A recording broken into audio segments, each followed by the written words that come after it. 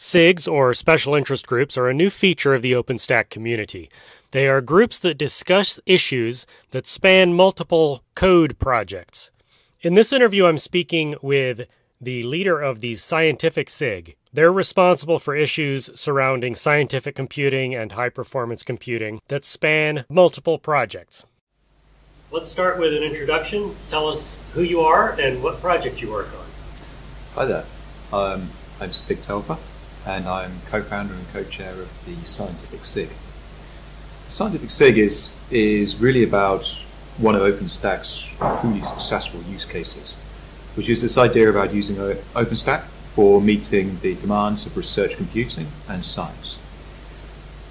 Those needs are slightly different from the, the, the sort of conventional cloud use cases, but it's a natural fit. And the way that we see OpenStack fitting into this environment it brings flexibility and it brings a dynamism that research scientists and computing engineers cannot get from conventional high performance computing infrastructure. Now, I haven't heard the term SIG used before this year. Is this a, a newly established entity? SIGs are new. That's correct. So, um, our SIG is a special interest group. And prior to that, we were a working group. But um, really, that was a misnomer because the SIG is about sharing information it's about advocating use cases. It's about gathering data about what the best practices around the world. So we weren't technically working. We were we were representing this special interest, this particular use case. And, and what is your output? What does the the board or the community expect to come out of your your SIG? We are birds of a feather, and what we do is we look around the world at the different ways that scientists are using OpenStack around the world, this sort of global gathering of information about OpenStack and science. We represent them, and we represent them on what they need uh, from uh, future OpenStack development. So we advocate on the use cases that we gather. And we also represent OpenStack and the way of using OpenStack in scientific computing in scientific conferences around the world as well. So that we, we sit in a, in a bridge between those two worlds. During the Queens cycle, what do you have to report? What have you accomplished in the last six months? It's been a busy time. Um, so we've had a lot of a lot of sessions where we have um, brought in guest speakers, and through the, the members of the SIG, we've had interviews and um, and people who are specialists in their fields around particular ways in which OpenStack or cloud computing can be used, or, or new technologies, emerging technologies that are relevant and have potential for a scientific use case. We have been representing those people, bringing them to, um, uh, to SIG meetings, gathering data and sharing information about how that can be exploited. Some of the areas where we've been uh, focusing actively in the, uh, in the Queens cycle is on how do we federate between different uh, research institutions in the best possible way.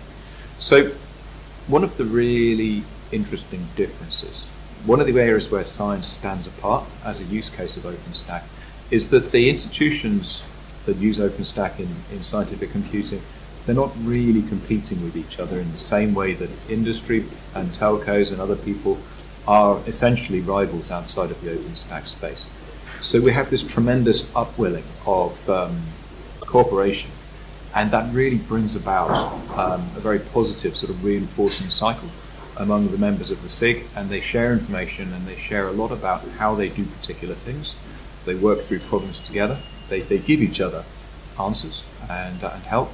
And so it's, it's a really cool place to be, and it's, it's a, a great group to be involved in. Can you give us some of the examples of the organizations that you're working with?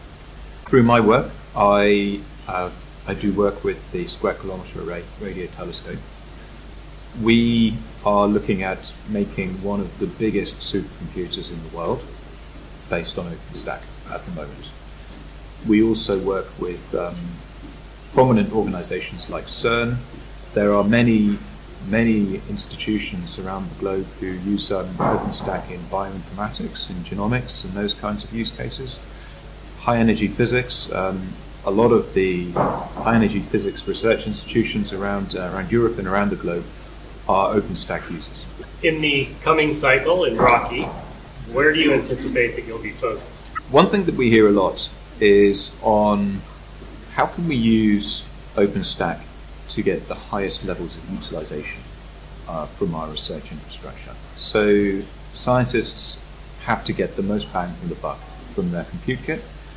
And how do we adapt OpenStack and how do we evolve OpenStack to deliver the highest potential, high, realize the highest potential in terms of utilization?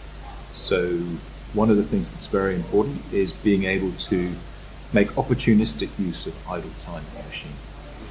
That's something where there's a, a huge amount of interest and it's a really exciting topic and we are seeing a lot of traction on that use case as well. That, uh, my colleagues on the SKA um, are working on a project that uh, the team at CERN are leading to develop um, proofs of concept and pilot capabilities around preemptible instances.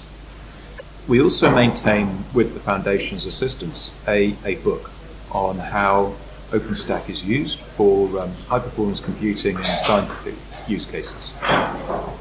This book has been involved over the last two years, and I think we're probably due to develop another chapter on the book. So every um, every year we um, we add a chapter if we can, and um, I think we're due a chapter on how OpenStack can be used to handle sensitive data for, for example, for medical informatics, those kinds of things.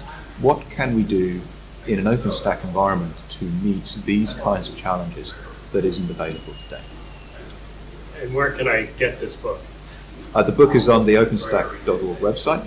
We have a science landing page, and it is available for free download there, or it can be bought from Amazon. Well, thank you so much for your time, and, and good luck in your work and in this week's meetings. Thank you very much.